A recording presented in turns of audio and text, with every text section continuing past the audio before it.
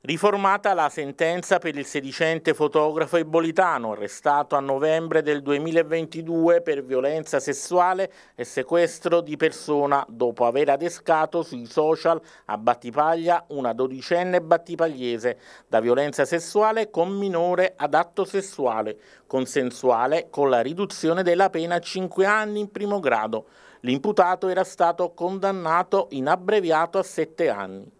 È stato lo stesso procuratore generale Cantarella al termine della requisitoria pronunciata a marzo scorso davanti ai giudici della Corte di Appello di Salerno con il presidente Rulli, all'atere Berlicanani e Conforti a chiedere la riforma del verdetto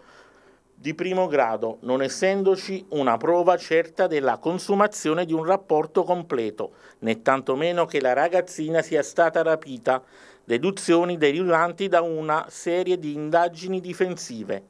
La ragazza all'appuntamento con il fotografo a Battipaglia si sarebbe recata spontaneamente per la realizzazione di un book fotografico, così come denunciato all'epoca dei fatti, chiedendo per l'imputato difeso dall'avvocato Costantino Cardiello la condanna a cinque anni di reclusione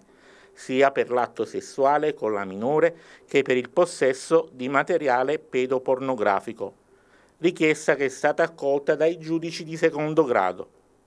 La vicenda, all'epoca dell'arresto dell'uomo, destò enorme scalpore nelle due città della Piana del Sele, sia a Deboli, dove l'arrestato abitava con la famiglia, che a Battipaglia, città di residenza della minore e di tutta la famiglia della giovane vittima.